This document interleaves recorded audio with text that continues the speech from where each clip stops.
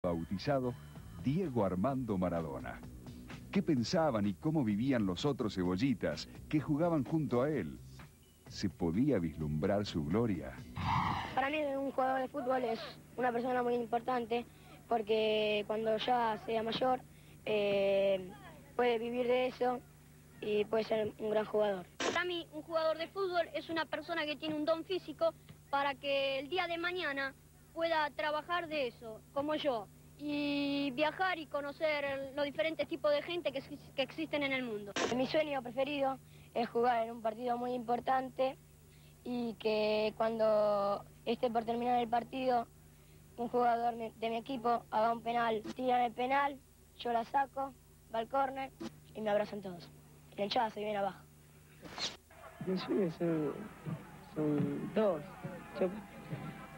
Mi, mi primer sueño es jugar en el Mundial y el segundo es salir campeón. Es salir campeón.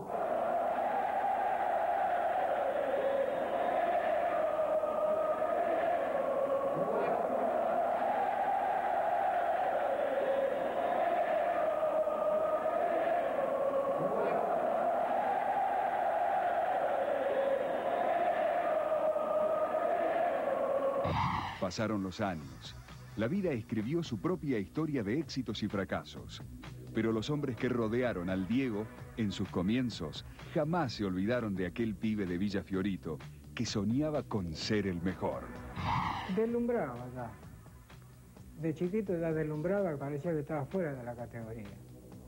Y a medida que fue pasando el tiempo ya se fue dando de que se veía que ya era muy distinto, demasiado. Este pibe era de otro planeta.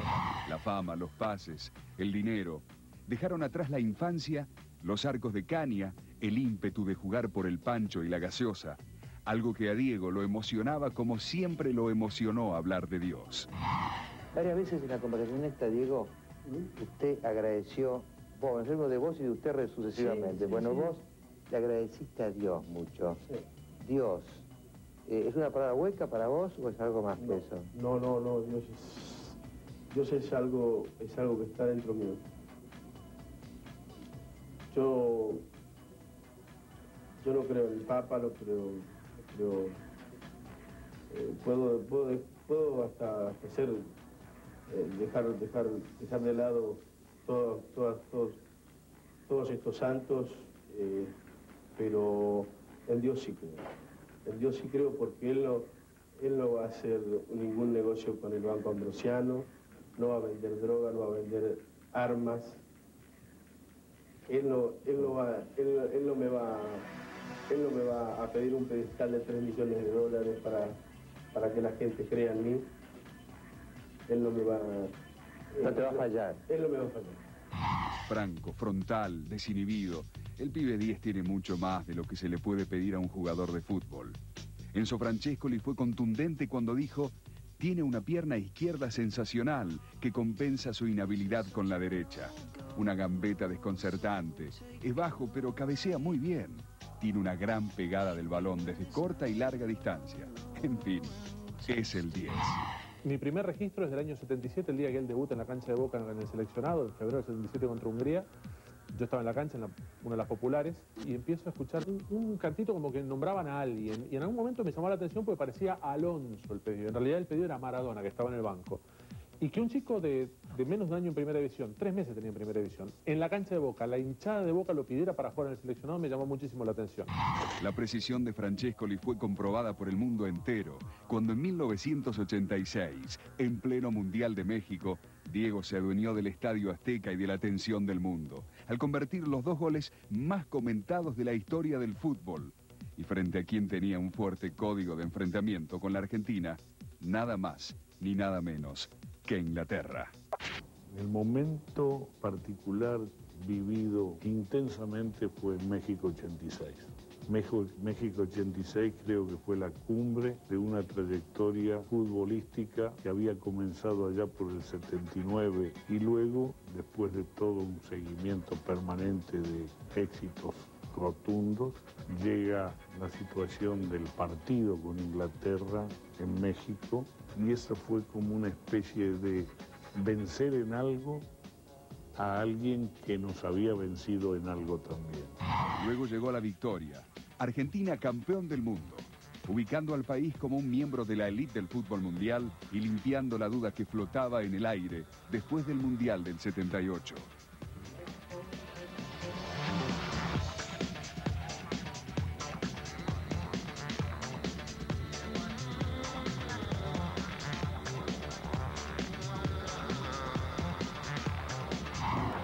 Maradona era el nuevo héroe argentino, héroe de una ciudad que lo amaba incondicionalmente y que lo aceptaba tal como era, con una arandela o con un brillante en su oreja, con un tapado de piel o con un equipo deportivo, con el pelo largo o corto, teñido de rubio, rabioso o simplemente con una franja amarilla recordando a su Boca Juniors amado.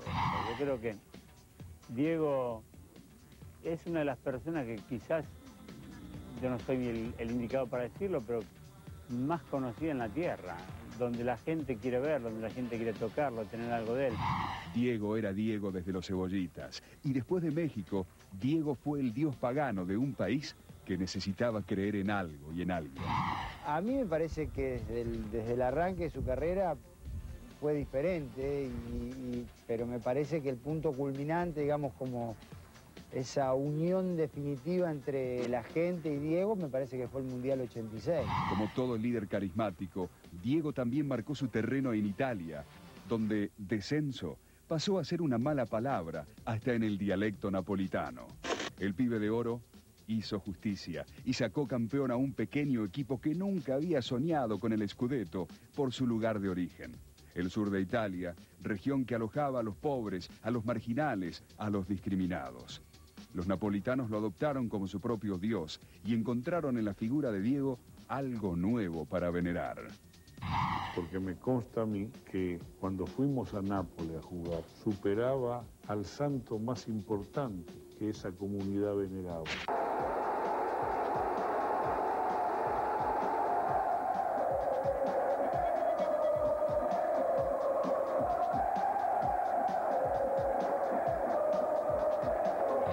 Ya el mundo estaba a sus pies. Su imagen se agranda, invade todos los hogares del planeta. Las vidrieras lujosas muestran su imagen. La exponen en los mejores medios. Así son los ídolos. Tiene ese vínculo con la gente que es especial. que él ha dicho cosas imposibles de entender que alguien las pueda decir y la gente, uh, qué va, pero el Diego es el Diego, ¿viste? Y bueno, es así. es esa suerte que tienen algunos que, bueno, o por ahí la desgracia, porque por ahí cuando uno tiene el límite que la gente no te perdona las cosas, eh, hay, cosas que, no seguís haciendo y, y que te llevan a otras que son peores, ¿no? La televisión no se cansa de repetir sus goles y el Maradona Dios despegaba sus pies de la tierra, recibiendo los honores y el asedio de cada uno de los miles de mortales que a diario se acercaban a él para pedirle un autógrafo, sacarse una foto, robarle un beso o simplemente decirle cuánto lo amaban. Por ejemplo, cuando él estaba en el avión y digo, dormía, sé que dormí porque si no era continuamente pasar 200 personas para que autógrafo en un, en un avión, ¿no? Y cuando estaba en el hotel, él no bajaba. Si bajaba a cenar o a almorzar y firmaba autógrafo, no almorzaba ni cenaba. Si no firmaba, era antipático. Entonces digo, mira, mejor te quedas en la habitación, comes en la habitación y. Dijo el novelista peruano Mario Vargas Llosa, Maradona es una de esas deidades vivientes que los hombres crean para adorarse en ellas. Es un dios. Y, y Diego yo creo que fue uno de los personajes por ahí donde más atracción llevaba eh, a que la gente hiciera cosas increíbles por verlo a él. Es un mito. Es un mito porque juega maravillosamente, porque su nombre y su cara se grabaron en la memoria del mundo entero, porque no perdió su esencia de cebollita y porque jamás olvidó a su Villa Fiorito de la infancia. ¿Te acuerdas esa vez que nos hicimos entrevista de frente al mar que usted estaba?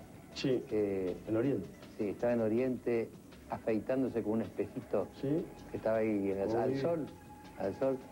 Usted siempre fue fiel a Fiorito. Sí, sí, yo lo que... Yo el, el hecho de, afeitarme del sol, yo me acuerdo siempre de mi viejo. ¿no? Mi viejo siempre yo eh, me hacía traerle el agua y yo lo miraba, lo miraba cómo se afeitaba. Y esto es, es, algo que como si lo estuviera viendo ahora. él siempre me decía que afeitarse con, la luz del sol eh, no, te quedaba, no te quedaba ninguna, ningún pelito, nada. Entonces, entonces yo digo, yo con grande lo que hacer como mi Y porque, sin ser intelectualmente brillante, en noviembre de 1995 fue rey de reyes en la Universidad de Oxford. Finalizada su charla magistral con los alumnos, le tiran una pelotita de golf y él deslumbra haciendo jueguitos con la zurda.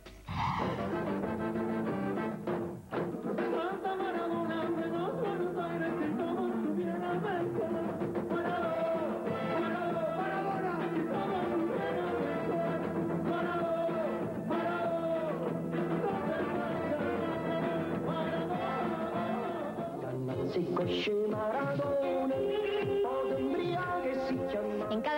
del mundo en el que Diego hizo base, lo veneraron como se venera un dios. En China, por ejemplo, levantaron una estatua en su honor. Allí, en un canal de televisión, le preguntaron si le gustaría protagonizar el papel de Maradona en una película. Por supuesto, contestó el crack, no habría otro loco en el mundo que pudiera ser de Maradona. Pero este loco lindo con ribete de Dios del Olimpo se enfrentó a otra realidad que no fue precisamente la de los grandes logros y el éxito futbolístico. Un papel protagónico en el consumo de drogas lo mostró vulnerable frente al mundo.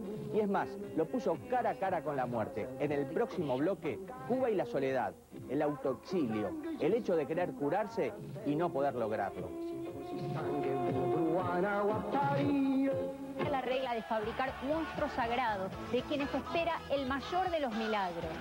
El milagro Maradona amenazó con truncarse cuando el periodismo mundial descubría que el mejor número 10 del mundo consumía drogas. Tenía el loco adentro. El culto colectivo tambaleaba y Diego, que era ejemplo de la juventud, mostraba su costado más atormentado. Un costado que se convirtió en su propio calvario y hoy lo obliga a vivir autoexiliado en Cuba, para sobrevivir a sí mismo, para no morir en manos de su enemigo más feroz, el éxito.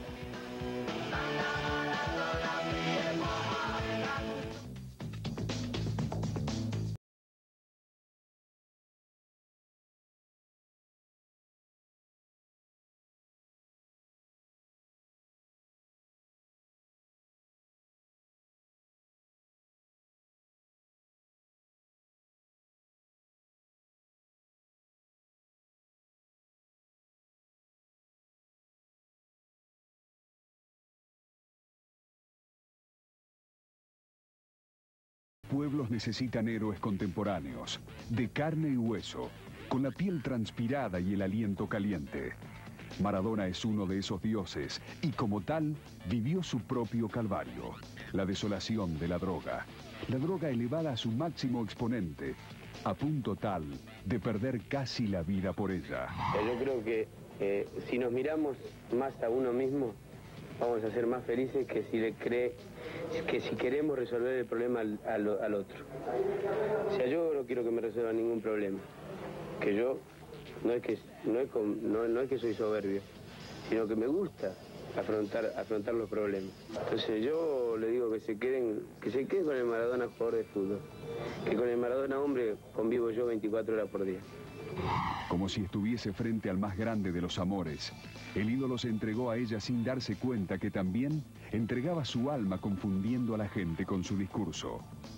Mientras el futbolista protagonizaba una campaña antidrogas, el hombre era uno de los consumidores más acérrimos.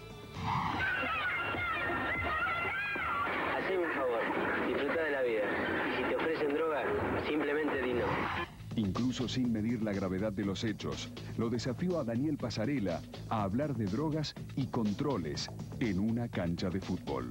Yo nací con la selección, con la selección de Pasarela, que es el que dice que es el soldado en contra de la droga, el que hizo hacer rinoscopía a a todos los muchachos. Yo lo desafío a Pasarela en cancha de River, mano a mano, mesa de por medio, a hablar de droga. A ver si él me puede rebatir algo de lo que él de todo lo que él dijo de mí. No puede, yo nací con esa selección. Y yo, yo no soy buchón, ¿eh? Atención. Yo me defiendo. Pero eso que dicen, no, a mí no me pasa, a mí, a mí no me va a pasar, total, eh, eh, le pasa a él a, por, un problema que tiene él, o porque, o porque se cree un dios, o porque se cree, se cree, se cree que sigue siendo Maradona, o no, no es así. Yo he visto en el fútbol mucha droga. Gracias a Dios hoy no la veo. La droga le hizo una zancadilla cobarde. Lo puso de rodillas frente al mundo y golpeó su imagen de león embravecido. Lo obligó a gambetearle a la muerte, al horror, a la vergüenza popular.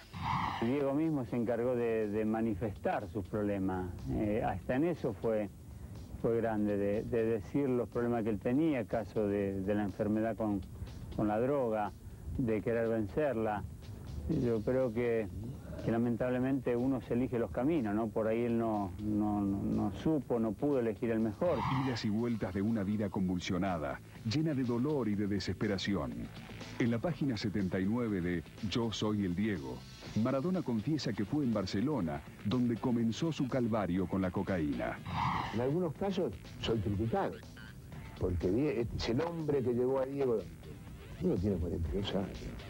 Diego cuando comenzó con el problema que, que, recorre su vida, yo no estaba en su, en su historia. O sea, digo, confiesa al mundo que él tiene un problema y que conoce la droga, vamos a llamarlo, no, es una cosa que existe en el mundo, en el 82. Y yo empiezo con Diego a fines del 85. Pero frente al mundo del fútbol y de sus seguidores, el primer doping positivo lo cosechó el 24 de marzo de 1991 en el partido que el Napoli juega contra la Sampdoria y pierden 4 a 1. En la contraprueba se detecta el consumo de cocaína. Pero lo del Napoli solo era la punta de un iceberg que navegaba en mar abierto con la promesa de destruir todo lo que encontrase a su paso. Un mes después del escándalo del Napoli, el 26 de abril, la policía lo detiene en un espectacular operativo en un departamento del barrio de Caballito, en Buenos Aires. Todos los canales de televisión habían sido avisados y esperaban la salida del 10. Diego es procesado por consumo, tenencia y suministro de cocaína. Su lucha es inútil. Decide someterse a un tratamiento de curación, pero todo esfuerzo es en vano. Si vamos a hablar de pase de factura, respecto a Diego, puedes tener la del 90 por eliminar a los italianos. Podés, tener, podés tratar de averiguar qué fue lo que pasó en el departamento de Caballito cuando llegaron los periodistas antes que la cana por un supuesto caso de drogas. Podés averiguar tantas cosas y no te van a cerrar nunca los números. 1994 es otro año trágico para el futbolista. Con la emoción de todos los amantes del fútbol y a pesar del traspié sufrido, llega a jugar el Mundial de los Estados Unidos. El 25 de junio Argentina enfrenta a Nigeria y le gana 2 a 1. Diego la rompe, a pesar de que lo muelen a patadas. El jugador se muestra como en uno de sus mejores tiempos, pero como nada es perfecto, sale sorteado para el control antidoping y el país entero vuelve a llorar. Los resultados dan positivo. Maradona volvió a equivocarse. La AFA lo retira del Mundial y la FIFA lo suspende por 15 meses. El crack lanza su célebre Me cortaron las piernas. Los dos análisis de los especímenes de orina han dado resultado positivo el jugador Diego A. De la Selección Nacional de Argentina ha violado, por lo tanto, las prescripciones contenidas en el reglamento de control antidoping.